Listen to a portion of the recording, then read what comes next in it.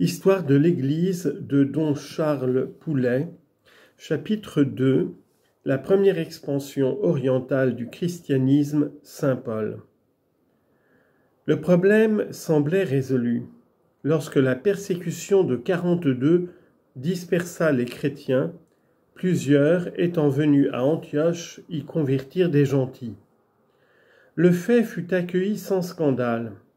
De Jérusalem, le chypriote Barnabé fut même député pour collaborer à cet apostolat. Il s'adjoignit un nouveau converti appelé Paul. Né à Tars en Cilicie, Paul était venu tout jeune à Jérusalem où il étudia la loi sous Gamaliel. Nullement héritier de la modération de son maître, lors de la première persécution de l'an 33, il participe au martyr de Saint-Étienne. Il avait obtenu du grand prêtre la mission de persécuter les chrétiens de Damas lorsqu'il fut terrassé par le Seigneur vers l'an 34. Trois jours plus tard, Anani lui conférait le baptême. Après avoir prêché dans les synagogues de Damas et témoigné que Jésus était le Fils de Dieu, il se retira en Arabie. Le Seigneur l'y forma dans la solitude à sa future mission. Revenu à Damas, il s'en évade pour échapper aux poursuites des Juifs et se rend à Jérusalem, où Barnabé le rapproche des fidèles encore défiants. De retour à Tars, sa patrie, il évangélise la Cilicie et la Syrie. C'est alors que vers 42 ou 43, Barnabé l'appelle à Antioche pour y collaborer à l'apostolat des gentils. Il advint que pendant une année entière ils instruisirent une multitude nombreuse, ce fut aussi à Antioche que pour la première fois les disciples reçurent le nom de chrétiens, comme il les a dit aux actes des apôtres. En effet, on ne pouvait plus les appeler juifs puisqu'ils ne recevaient plus l'initiation de la synagogue. Paul et Barnabé résolurent alors d'entreprendre une première course apostolique qui dura quatre ou cinq années, de 45 à 49 environ. Le milieu, le judaïsme de la dispersion. Le juif qui s'aventurait hors de la Palestine retrouvait un peu partout des compatriotes éparpillés en colonies multiples dont l'ensemble a reçu le nom de diaspora, en grec dispersion. Parfois considérable, elle se trouvait à l'ordinaire dans les ports comme Thessalonique, dans les grandes villes comme Alexandrie et Rome. Grâce à leur entente des affaires, ces Juifs devinrent riches et influents. L'État romain leur accorda, surtout après César, des privilèges étendus et la liberté de leur culte. Ils n'en oublièrent point cependant Jérusalem et restèrent étroitement unis aux Juifs palestiniens. Aussi pour Paul et Barnabé, ces juiveries seront-elles un pied-à-terre et leur synagogue le premier lieu de prédication. Autour des communautés juives gravitait toute une clientèle religieuse attirée par le culte du Dieu unique.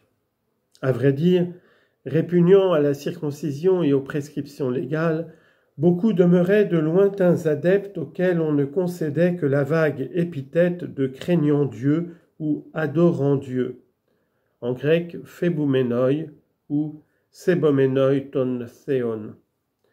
Encore impur, il ne pouvait aller au-delà du premier parvis du temple de Jérusalem. D'autres, abdiquant tout préjugé, acceptaient la loi intégrale, y compris la circoncision. Ils participaient à tous les privilèges de la race, on les appelait prosélytes de la justice. Nul doute que cette clientèle du judaïsme dispersé se montra plus accueillante au christianisme. L'apostolat de Saint Paul allait à la fois bénéficier et pâtir de cette pénétration juive dans les régions helléniques. Partis d'Antioche, Paul et Barnabé évangélisèrent l'île de Chypre, où ils, convertissent le proconsul Sergius Paulus. Ils passent ensuite en Asie mineure et fondent une communauté à Antioche de Pisidie. Chassés de cette ville, ils se rendent à Iconium, à Lystre, où Paul est lapidé par des Juifs et laissé pour mort, enfin à Derbé. Après avoir séjourné assez longtemps en diverses villes de Pamphylie, de Pisidie et de Lycaonie, les apôtres réintégrèrent la métropole. Si longue qu'avait été cette mission, elle eut un champ fort restreint. L'œuvre de Paul ne commence à proprement parler qu'à Antioche de Pisidie.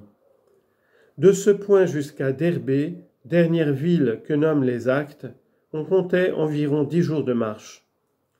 L'apôtre fut contraint par les difficultés de l'entreprise de demeurer dans ces étroites limites. 2. L'opposition judéo-chrétienne.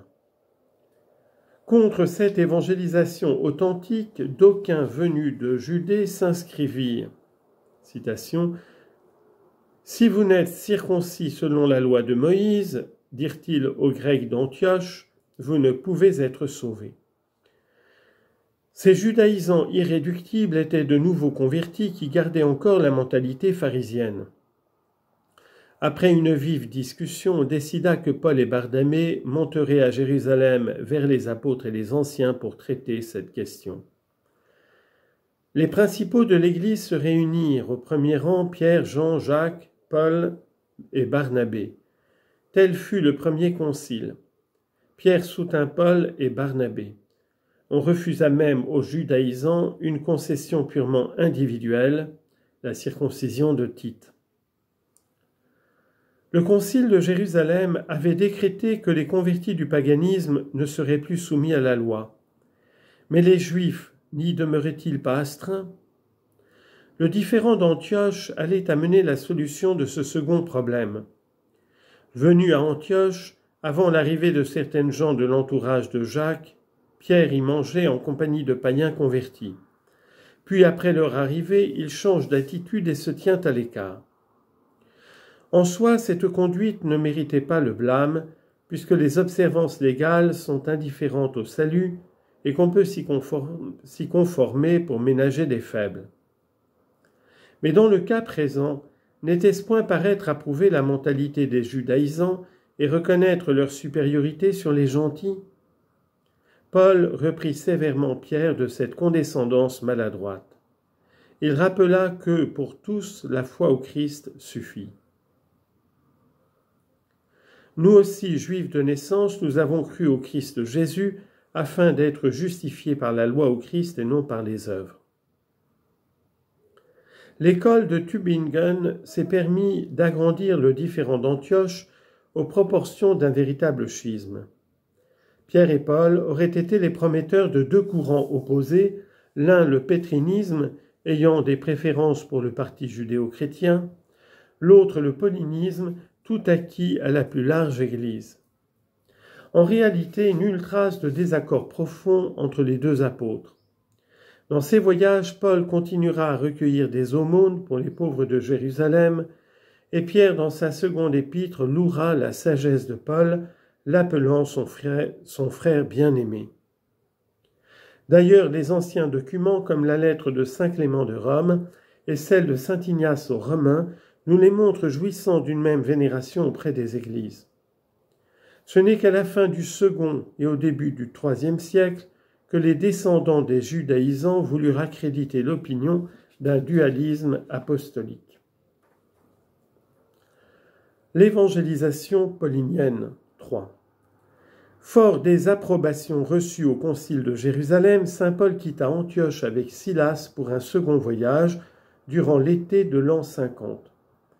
Il adopta cette fois la voie de terre, revit d'Herbé, Lystre, où il prit Timothée pour compagnon, Iconium et Antioche. Il projetait d'évangéliser l'Asie et la Bithynie, mais l'Esprit Saint ne le lui permit pas, le voulant en Europe. Arrivé à Troas, Paul s'adjoint Saint Luc et, encouragé par une vision, passe la mer à destination de la Macédoine. Il évangélise Philippe, mais à la suite d'un soulèvement populaire, lui et ses frères sont battus de verges et jetés en prison. Relâchés, ils vont à Thessalonique où ils font de nombreuses conversions. À nouveau, une sédition les chasse de cette ville, ils se rendent à Bérée. Toujours poursuivi par les Juifs, Paul quitte ses compagnons pour entreprendre seul l'évangélisation de la Grèce.